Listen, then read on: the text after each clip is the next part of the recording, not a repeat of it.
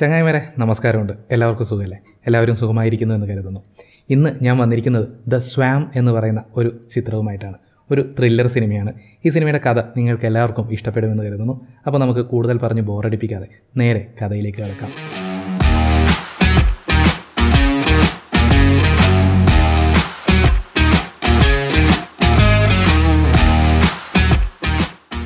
Cinema ആരംഭിക്കുന്നത് Virginia എന്ന സ്ത്രീയെ പരിചയപ്പെടുത്തിക്കൊണ്ടാണ് വെട്ടുകിളികളെ വളർത്തി അവയെ വിൽക്കുന്ന ബിസിനസ് ചെയ്യുകയാണ് വിർജിന. ഒരു ദിവസം ഒരു കസ്റ്റമർ അവളുടെ അടുത്തേക്ക് വരുന്നു. അയാൾ വെർജിനിയുടെ വെട്ടുകിളികളുടെ ഗുണനിലവാരവും രുചിയുമൊക്കെ പരിശോധിക്കുകയാണ്. അയാൾക്ക് അവയുടെ രുചി വളരെയധികം ഇഷ്ടപ്പെട്ടു. പക്ഷേ അയാൾക്ക് ആവശ്യമുള്ളത്ര വെട്ടുകിളികൾ അവളുടെ പക്കലുണ്ടായിരുന്നില്ല എന്ന് മാത്രമല്ല തീരെ കുറവുമായിരുന്നു. അതുകൊണ്ട് തന്നെ അയാൾക്ക് ദേഷ്യം വരികയും അടുത്ത തവണ എന്ത് തന്നെയാണെങ്കിലും ഇങ്ങോട്ടേക്ക് ഞാൻ വരില്ല എന്നും പറഞ്ഞ് അയാൾ പോവുകയും ചെയ്യുന്നു. തുടർന്ന് വിർജിന തന്റെ സുഹൃത്തായ കരീമിനെ വിളിച്ച് കസ്റ്റമർ വെട്ടുകിളികളെ വാങ്ങാതെ പോയത് അറിയിക്കുന്നു. അടുത്ത ഷോട്ടിൽ വിർജിനിയയുടെ മകൾ ലോറയെ കാണിക്കുന്നു. അവളുടെ കൂടെ പഠിക്കുന്നവർ അവളെ എപ്പോഴും കളിയാക്കും. അവളെ പരിഹസിക്കുന്ന തരത്തിൽ വീഡിയോസ് ഉണ്ടാക്കി അത് ഓൺലൈനിൽ പോസ്റ്റ് ചെയ്യുകയും ചെയ്യും. അതിന്റെ കാരണം എന്താണെന്ന് വെച്ച് കഴിഞ്ഞാൽ അവളുടെ അമ്മയുടെ വെട്ടുകിളി ബിസിനസ് തന്നെ. അവരുണ്ടാക്കിയ ഒരു വീഡിയോ കണ്ടിട്ട് ലോറയ്ക്ക് വളരെയധികം ദേഷ്യം വരികയും ആ വീഡിയോ ഉണ്ടാക്കിയ ചെറുക്കനെ നടു റോട്ടിൽ വെച്ച് അടിക്കുകയും ചെയ്യുന്നു. കൃത്യസമയത്ത് തന്നെ വിർജിനി അവിടേക്ക് വന്ന് ലോറയെ പിടിച്ചു മാറ്റി അവളെയും കൂട്ടി വീട്ടിലേക്ക് പോകുന്നു.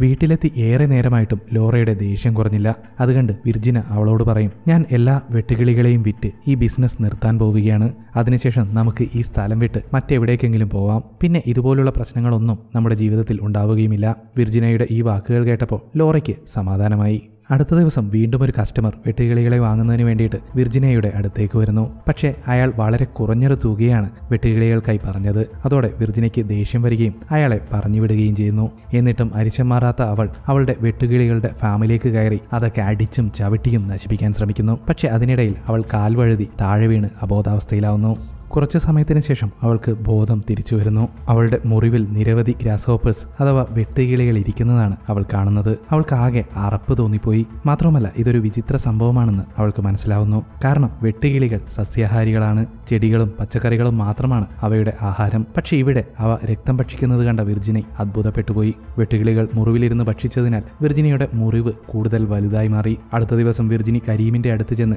കസ്റ്റമറിനെ കുറിച്ച് ചോദിക്കുന്നു. അപ്പോൾ കരീം പറയും കഴിഞ്ഞ തവണ വന്ന കസ്റ്റമറിനെയും ഞാനാണ് അങ്ങോട്ടേക്ക് പറഞ്ഞു വിട്ടത്. പക്ഷേ അവർക്ക് ആവശ്യമുള്ളത്ര എണ്ണം നിന്റെ അടുത്ത് ഇല്ലാതെ പോയി. അത് കേട്ട് നിരാശയോടെ വിർജിനി വീട്ടിലേക്ക് മടങ്ങിപ്പോകുന്നു വീട്ടിലെത്തിയ അവൾ വെട്ടുകിളികളുടെ കൂടിനടുത്തേക്ക് പോകുന്നു. അവിടുത്തെ കാഴ്ച കണ്ട് അവൾ ഞെട്ടിപ്പോയി. കാരണം വെട്ടുകിളികളുടെ എണ്ണം വളരെയധികം വർദ്ധിച്ചിരിക്കുന്നു. മാത്രമല്ല അവയുടെ വലിപ്പവും കൂടിയിരിക്കുന്നു. അന്ന് രാത്രിയായതിനാൽ അവൾ കൂടുതൽ അതിനെപ്പറ്റി ചിന്തിച്ചില്ല. അടുത്ത ദിവസം രാവിലെ തന്നെ അവൾ വീണ്ടും ആ കൂടിനടുത്തേക്ക് പോകുന്നു. അവൾ ആകെ ആശ്ചര്യപ്പെട്ടു പോയി എന്താന്ന് വെച്ചാൽ അവളുടെ വെട്ടുകിളികളുടെ എണ്ണം ഇപ്പോൾ ഇരട്ടിയായിരിക്കുന്നു. തന്റെ രക്തം കുടിച്ചതിനാലാണ് ഈ വെട്ടുകിളികളുടെ എണ്ണം ഇത്രയധികം വർദ്ധിച്ചത് എന്ന് വിർജിനിക്ക് മനസ്സിലാവുന്നു. എന്നിട്ടും അവൾ എന്താ ചെയ്തതെന്നറിയോ? മുറിവിൽ കെട്ടിയിരുന്ന ബാൻഡേജ് അഴിച്ചു മാറ്റി. ഗ്രാസ് ഹോപ്പേഴ്സിന് വീണ്ടും തന്റെ രക്തം ഭക്ഷിക്കാൻ നൽകുന്നു. മുറിവിൽ നിന്ന് അവൾക്ക് വളരെയധികം വേദനയുണ്ടെങ്കിലും അതൊക്കെ കടിച്ചു പിടിച്ച് അവൾ വെട്ടുകിളികൾക്ക് തന്റെ രക്തം ഭക്ഷണമായി നൽകുന്നു. അതിനുശേഷം അവൾ ആ വെട്ടുകിളികളുടെ കൊമ്പുകൾ അവളുടെ മുറിവിൽ നിന്നും വലിച്ചൂരിക്കളയുകയാണ്. വേദന കൊണ്ട് പുളഞ്ഞുകൊണ്ടാണ് അവൾ ഇങ്ങനെ ചെയ്യുന്നത്. അടുത്ത ദിവസം വിർജിനി ആ കൂടാരം വീണ്ടും സന്ദർശിച്ചപ്പോൾ വെട്ടുകിളികളുടെ എണ്ണവും വലിപ്പവും വളരെയധികം വർദ്ധിച്ചിരിക്കുന്നതായിട്ട് അവൾക്ക് മനസ്സിലാവുന്നു.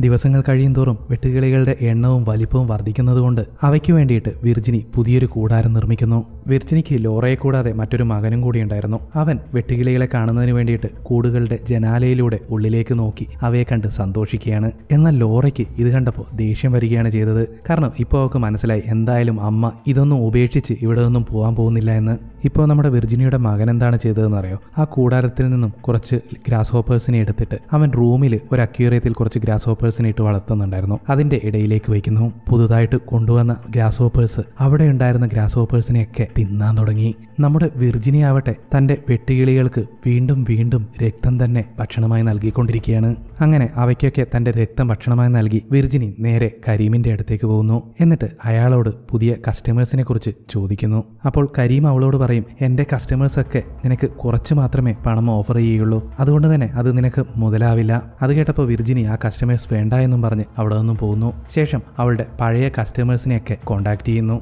അങ്ങനെ ഒരു കസ്റ്റമർ വന്ന് വെട്ടുകിളികളുടെ ക്വാളിറ്റിയെ പറ്റി വിർജിനിയോട് ചോദിക്കുന്നു. ഇതൊക്കെ മുൻപത്തേലും വളരെ മികച്ചതാണ് എന്ന് വിർജിനി പറയുന്നു. അത് ബോധ്യപ്പെട്ട അയാൾ കുറേയധികം വെട്ടുകിളികളെ വാങ്ങുകയും ചെയ്യുന്നു. അതിനുശേഷം വിർജിന വെട്ടുകിളികൾക്ക് കൊടുക്കുന്നതിന് വേണ്ടിയിട്ട് വളരെയധികം ബ്ലഡ് ഓർഡർ ചെയ്യുന്നു. അത് ഡെലിവറി ചെയ്യാൻ വന്ന പയ്യൻ വിർജിനയോട് ചോദിക്കും നിങ്ങൾക്ക് എന്തിനാ ഇത്രയധികം ബ്ലഡ്? അപ്പോൾ വിർജിന പറയും അത് ഞാൻ ഗ്രാസ് ഹോപ്പേഴ്സിന് ഭക്ഷണമായി നൽകുന്നതിന് വേണ്ടിയിട്ടാണ്. അവൾ പറഞ്ഞ സത്യമാണെങ്കിലും പയ്യൻ അത് വിശ്വസിച്ചില്ല. കാരണം ഗ്രാസ് ഹോപ്പേഴ്സ് ഒന്നും ഇങ്ങനെ ബ്ലഡ് കഴിക്കുന്ന ജീവികളല്ലല്ലോ. അതുകൊണ്ട് തന്നെ അവൻ അത് ചിരിച്ചു തള്ളുകയാണ് ചെയ്തത്. അതിനുശേഷം ആ ഓർഡർ ചെയ്ത ബ്ലഡൊക്കെ വിർജിനി വെട്ടുകിളികൾക്ക് ഭക്ഷണമായി നൽകുന്നതാണ് നമുക്ക് കാണാൻ സാധിക്കുക. ആ സീൻ അവിടെ കട്ട് ചെയ്ത് ലോറയെ കാണിക്കുന്നു. അവളുടെ ഒരു സുഹൃത്ത് അവളെ കാണാൻ വന്നിരിക്കുകയാണ്. അവൻ അവളോടായിട്ട് പറയും ഞാൻ കഴിഞ്ഞ ദിവസം ഇവിടെ അടുത്ത് വന്നിരുന്നു. അപ്പോൾ നിന്റെ വീട്ടിലെ ആ വെട്ടികിളികളുടെ ശബ്ദം എത്രമാത്രം ഭയങ്കരമായിട്ടാണ് മുഴങ്ങുന്നതെന്നറിയോ? നിനക്കത് കേട്ടിട്ട് ഒരു ശല്യമായിട്ടൊന്നും തോന്നുന്നില്ലേ? അവൻ അങ്ങനെ ചോദിച്ചപ്പോൾ ലോറ ഒന്നും തന്നെ മിണ്ടിയില്ല. പക്ഷെ അവൾക്ക് വളരെയധികം ദേഷ്യം വരുന്നുണ്ടായിരുന്നു. അവൾ എന്ത് ചെയ്തു എന്നറിയോ? നേരെ ആ വെട്ടുകിളികളുടെ കൂടിനടുത്തേക്ക് ചെന്ന് ആ കൂട് മുഴുവൻ അടിച്ചുടച്ച് നശിപ്പിക്കുന്നു. അതോടെ ആ വെട്ടുകിളികളെല്ലാം കൂട്ടം കൂട്ടമായി പുറത്തേക്ക് വരാൻ തുടങ്ങി. അവയെല്ലാം ലോറയുടെ അനിയന്റെ അടുത്തേക്ക് പറന്നെടുക്കുന്നു. എന്തോ ഭാഗ്യവശാൽ അവൻ കാറിനുള്ളിലായതുകൊണ്ടും ഗ്ലാസുകളെല്ലാം അടഞ്ഞുകിടക്കുന്നതുകൊണ്ടും അവൻ രക്ഷപ്പെടുന്നു. പക്ഷേ അവന്റെ വണ്ടിക്ക് പിന്നിലായി കെട്ടിയിട്ടിരുന്ന ആടിനെ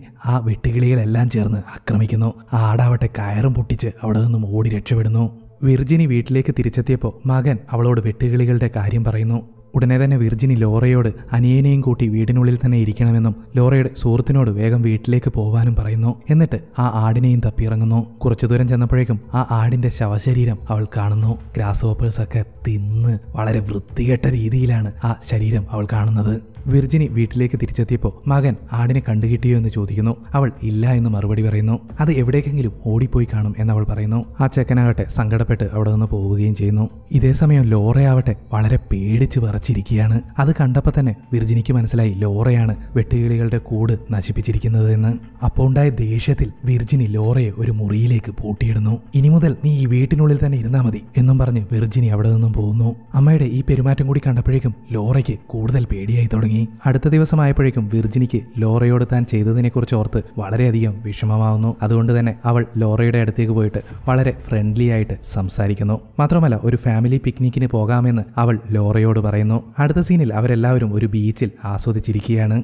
വിർജിനിയുടെ ശരീരത്തിൽ അവിടെയിവിടെയായിട്ട് കുറെ മുറിവുകൾ ലോറ കാണുന്നു. ലോറ അതെന്താണെന്ന് വിർജിനിയോട് ചോദിക്കുന്നു. പക്ഷെ അതിന് ആൻസർ പറയാതെ വിർജിനി അതിനെ അവഗണിക്കുന്നു. സത്യം പറഞ്ഞാൽ അതൊക്കെ വെട്ടുകിളികൾക്ക് ബ്ലഡ് നൽകുന്നതിന് വേണ്ടിയിട്ട് ഉണ്ടാക്കിയ മുറിവുകളാണ്. അങ്ങനെ അവരെല്ലാവരും ആ പിക്നിക്കൊക്കെ ആസ്വദിച്ച് വീട്ടിലേക്ക് മടങ്ങുന്നു. വീട്ടിലെത്തിയപ്പോഴേക്കും ലോറയ്ക്ക് വേണ്ടി വിർജിനി ഒരു സർപ്രൈസ് കൂടി ഒരുക്കി വെച്ചിരുന്നു. അവളുടെ ഫ്രണ്ട് കരീം ലോറയ്ക്ക് വേണ്ടിയുള്ള പുതിയ സ്കൂട്ടർ അവിടെ എത്തിച്ചിരുന്നു. പുതിയ സ്കൂട്ടർ കണ്ടപ്പോഴേക്കും ലോറയ്ക്ക് ഭയങ്കര സന്തോഷമായി. മകളെ സന്തോഷിപ്പിക്കുന്നതിന് വേണ്ടിയിട്ട് വിർജിനി ചെയ്തതായിരുന്നു ഇതൊക്കെ. അങ്ങനെ എല്ലാത്തിനും ശേഷം വിർജിനി വീണ്ടും തന്റെ ബിസിനസ്സിലേക്ക് ശ്രദ്ധ കേന്ദ്രീകരിക്കുന്നു. അങ്ങനെ ഇരിക്കെ ഒരു ദിവസം വിർജിനി വീണ്ടും ബ്ലഡ് ഓർഡർ ചെയ്യുമ്പോൾ അവളുടെ കയ്യിൽ ലൈസൻസ് ഇല്ലാത്തതിനാൽ അത് നൽകാൻ സാധിക്കില്ല എന്നായിരുന്നു മറുപടി ലഭിച്ചത്. അതിന്റെ കാര്യങ്ങളൊക്കെ ആലോചിച്ച് ടെൻഷൻ അടിച്ചിരിക്കുമ്പോഴാണ് കുറച്ച് പേര് വെട്ടുകിളികൾക്ക് വേണ്ടി കൂടൊരുക്കുന്നതിന് വേണ്ടിയിട്ട് അങ്ങോട്ടേക്ക് വരുന്നത് ഇവരെ നേരത്തെ വിർജിനി വിളിച്ചു പറഞ്ഞിരുന്നതാണ്. അങ്ങനെ വെട്ടുകിളികൾക്ക് വേണ്ടി പുതിയൊരു കൂടൊരുക്കുന്നതിനായിട്ട് അവർ തയ്യാറാകുന്നു അപ്പോൾ സ്ഥലപരിമിതി മൂലം അവിടെ ഉണ്ടായിരുന്ന ഒരു മരം വിർജിനിക്ക് മുറിച്ചു നീക്കേണ്ടതായി വരുന്നു. പക്ഷേ അത് വിർജിനിയുടെ മകന് തീരെ ഇഷ്ടപ്പെട്ടില്ല.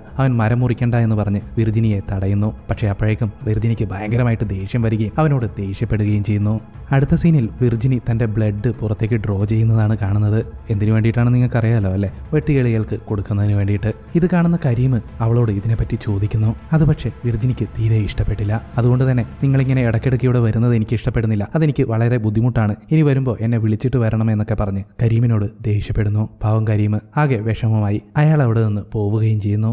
അടുത്ത ദിവസങ്ങളിൽ അവൾക്ക് കൂടുതൽ ബ്ലഡ് വേണ്ടി വന്നു. പക്ഷേ അവൾക്ക് അത് അറേഞ്ച് ചെയ്യാൻ സാധിക്കുന്നുണ്ടായിരുന്നില്ല. അതുകൊണ്ട് തന്നെ അവൾ വളരെയധികം വിഷമത്തിലാവുകയും ചെയ്യുന്നു. അങ്ങനെ ഒരു രാത്രി വിർജിനി ഇങ്ങനെ വിഷമിച്ചിരിക്കുമ്പോൾ അവൾ ഒരു പട്ടിയുടെ കുര കേൾക്കുന്നു ഉടനെ തന്നെ അവൾ ആ പട്ടിയെ പിടിച്ചു കൊണ്ടുവന്ന് വെട്ടികിളികളുടെ കൂട്ടിലേക്കിടുന്നു. പൊടുന്നതിനെ തന്നെ ആ വെട്ടുകിളികളെല്ലാം ചേർന്ന് നായയെ ഭക്ഷിക്കുന്നു. അടുത്ത ദിവസം രാവിലെ വിർജിനി ആ കൂട്ടിൽ നിന്നും ആ നായയുടെ രക്തമെല്ലാം തുടച്ചു കളയുകയായിരുന്നു. ആ സമയത്ത് ലോറ അതിനടുത്തേക്ക് വരുന്നു. പക്ഷേ വിർജിനി അവളെ അതിനുള്ളിലേക്ക് വരാൻ സമ്മതിച്ചില്ല. അപ്പോൾ ലോറ പറയും പുറത്ത് ഏതോ കസ്റ്റമേഴ്സ് വന്നിട്ടുണ്ടെന്ന്. അതായത് അനുദിനം നമ്മുടെ വിർജിനിയുടെ ബിസിനസ് വളർന്നുകൊണ്ടിരിക്കുകയാണ്. കൂടുതൽ കൂടുതൽ കസ്റ്റമേഴ്സ് അവൾക്കായി വന്നുകൊണ്ടിരിക്കുകയാണ്. അതുകൊണ്ട് തന്നെ അവൾ രാത്രി ഒരു കാട്ടിലേക്ക് പോയിട്ട് ഒരു പോത്തിനെ വേട്ടയാടിക്കൊണ്ടുവരുന്നു. അതിന്റെ മാംസവും രക്തവും എല്ലാം അവൾ വെട്ടുകിളികൾക്ക് ഭക്ഷണമായി നൽകുന്നു.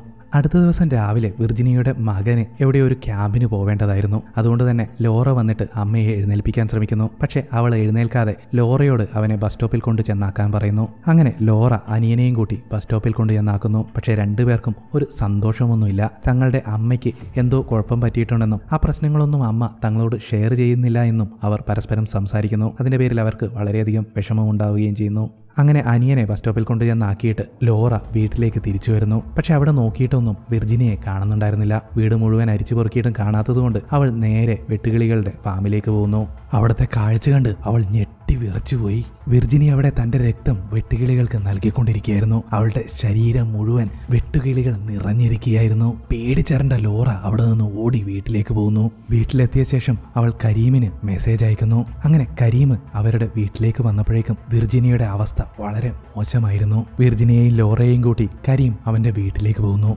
അവിടെ വെച്ച് കരീം ലോറയോട് കാര്യങ്ങൾ ചോദിച്ചറിയാൻ ശ്രമിക്കുന്നു. അപ്പോഴേക്കും വിർജിനിയും അങ്ങോട്ടേക്ക് വരുന്നു. കരീം വിർജിനിയോടും അക്കാര്യത്തെ പറ്റിയൊക്കെ ചോദിക്കുന്നു. പക്ഷെ അവന്റെ ചോദ്യങ്ങൾക്കൊന്നും വിർജിനി മറുപടി പറഞ്ഞില്ല. അതുകൊണ്ട് തന്നെ കരീമിന് വളരെയധികം ദേഷ്യം വരികയും അവൻ വിർജിനിയോട് ദേഷ്യപ്പെടുകയും ചെയ്യുന്നു. ഉടൻ തന്നെ വിർജിനി ലോറയെയും കൂട്ടി അവിടെ നിന്നും പോകാൻ ഒരുങ്ങുന്നു. പക്ഷേ ലോറ അവളുടെ കൂടെ പോകാൻ തയ്യാറായില്ല. ലോറയെ അവിടെ തന്നെ വിട്ടിട്ട് വിർജിനി ഒറ്റയ്ക്ക് വീട്ടിലേക്ക് പോകാൻ തയ്യാറാവുന്നു. ഇതേ സമയം വിർജിനിയുടെ വെട്ടുകിളി കൂടിനടുത്തേക്ക് ഒരു വ്യക്തി നടന്നു വരുന്നു. ഇതാരാണെന്നറിയോ?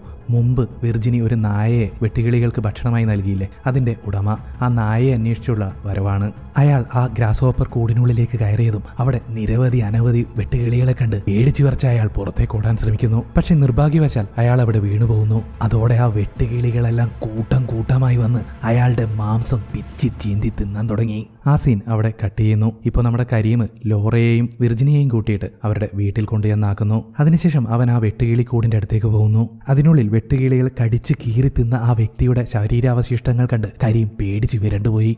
ഇതേസമയം വിർജിനി അവനോട് നന്ദി പറയുന്നതിന് വേണ്ടിയിട്ട് വീടിന് പുറത്തേക്ക് വരുന്നുണ്ടായിരുന്നു. കരീം ആ കൂടിനുള്ളിൽ നിന്ന് പുറത്തേക്ക് വരുന്നത് കണ്ട വിർജിനിയെ വിചാരിച്ചു ലോറ അവനോട് എല്ലാം പറഞ്ഞിരിക്കുന്നു. അവനെല്ലാം മനസ്സിലായിരിക്കുന്നു എന്ന്. പക്ഷേ അതിനുള്ളിൽ ഒരു ശവശരീരം കിടക്കുന്നുണ്ടെന്നുള്ള കാര്യം വിർജിനിക്ക് അറിയില്ലായിരുന്നു. ഉടനെ തന്നെ വിർജിനി ലോറയുടെ അടുത്തേക്ക് ഓടിപ്പോകുന്നു. കരീം ആവട്ടെ അവന്റെ കാറിനടുത്തേക്ക് പോയിട്ട് ഒരു പെട്രോൾ ക്യാൻ എടുത്തുകൊണ്ടുവന്ന് ആ വെട്ടുകിളികളുടെ കൂടിന് മുഴുവൻ പെട്രോൾ അഴിച്ച് തീ കത്തിക്കുന്നു. അതിനുള്ളിൽ നിന്നും കൂട്ടം കൂട്ടമായി നിരവധി വെട്ടുകിളികൾ പുറത്തേക്ക് പറക്കാൻ തുടങ്ങി. തീ ആളിപ്പടരുന്നത് കണ്ട് വിർജിനിയയും ലോറയും വീടിന് പുറത്തേക്ക് വരുന്നു. വിർജിനിയാവട്ടെ ഓടിപ്പോയി ആ തീ കെടുത്താൻ ശ്രമിക്കുന്നു. അപ്പോഴേക്കും കൂട്ടം കൂട്ടമായി വെട്ടുകിളികൾ അവരെല്ലാം ആക്രമിക്കാൻ തുടങ്ങി. അത് കണ്ട് കരീം ലോറയെ വേഗം തന്നെ കൂട്ടി വീടിനുള്ളിലേക്ക് കൊണ്ടുപോയി അവിടെയുള്ള ലൈറ്റുകളൊക്കെ അടച്ച് വാതിലൊക്കെ അടച്ചിരിക്കുന്നു. പക്ഷെ വിർജിനിയാവട്ടെ ഇപ്പോഴും ആ തീ അണക്കുന്നതിന് വേണ്ടി ശ്രമിച്ചുകൊണ്ടിരിക്കുകയാണ്. ആ സമയത്ത് ലോറയുടെ നിലവിളി കേട്ട് വിർജിനി എല്ലാം ഉപേക്ഷിച്ച് വീടിനുള്ളിലേക്ക് കയറി പോകുന്നു അവിടുത്തെ കാഴ്ച കണ്ട് വിർജിനിയ ഞെട്ടിത്തരിച്ചുപോയി. കരീമിനെ വെട്ടുകിളികളെല്ലാം ചേർന്ന് കടിച്ച് കീറി തിന്നിരുന്നു. പാവൻ ലോറയാവട്ടെ പേടിച്ച് വിറച്ച് അവിടെ നിന്നും ഓടി പുറത്തേക്ക് പോയിരുന്നു. അവൾ ഓടി ഓടി ഒരു കാടിനുള്ളിലെത്തുന്നു. പക്ഷെ എന്നിട്ടും വെട്ടുകിളികളെല്ലാം അവളുടെ പിറകെ തന്നെ ഉണ്ടായിരുന്നു. പെട്ടെന്ന് ലോറ അവിടെ ഒരു പുഴ കാണുന്നു. ഉടനെ തന്നെ അവൾ വേഗം പോയി ആ പുഴയിലേക്ക് ഇറങ്ങി നിൽക്കുന്നു. മാത്രമല്ല അവിടെ ഒരു ബോട്ട് നിർത്തിയിട്ടിട്ടുണ്ടായിരുന്നു. അത് തിരിച്ച് അവളുടെ മുകളിലേക്ക് വെച്ച് അവൾ അതിനുള്ളിലിരിക്കുന്നു. പക്ഷെ എന്നിട്ടൊന്നും വെട്ടുകിളികൾ വിട്ടിരുന്നില്ല. അത് അവളുടെ പിന്നാലെ തന്നെ ഉണ്ടായിരുന്നു. അവളുടെ മുകളിൽ പോയി അവളെ ആക്രമിക്കുന്നതിന് വേണ്ടിയിട്ട് അത് തക്കം പാത്ത് നിൽക്കുകയാണ്. അപ്പോഴേക്കും വിർജിനിയും ലോറയെ അന്വേഷിച്ച് അവിടേക്ക് എത്തിച്ചേരുന്നു.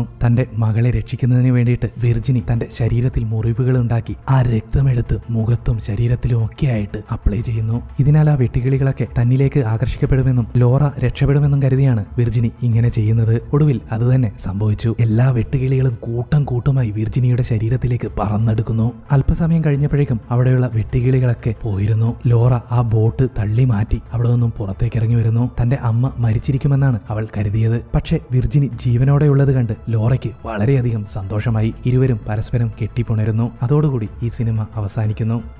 അപ്പോൾ ഇങ്ങനെയാണ് ഈ സിനിമയും ഈ സിനിമയുടെ കഥയും അവസാനിക്കുന്നത്. അപ്പോൾ ഈ കഥയും ഈ വീഡിയോയും നിങ്ങൾക്ക് ഇഷ്ടപ്പെട്ടു എന്ന് കരുതുന്നു. നിങ്ങളുടെ അഭിപ്രായങ്ങൾ അത് എന്തുമായിക്കോട്ടെ താഴെ കമന്റ് ചെയ്യുക. അപ്പോൾ ഇതുപോലൊരു സിനിമയുമായിട്ട് വീണ്ടും കാണാം. അതുവരെ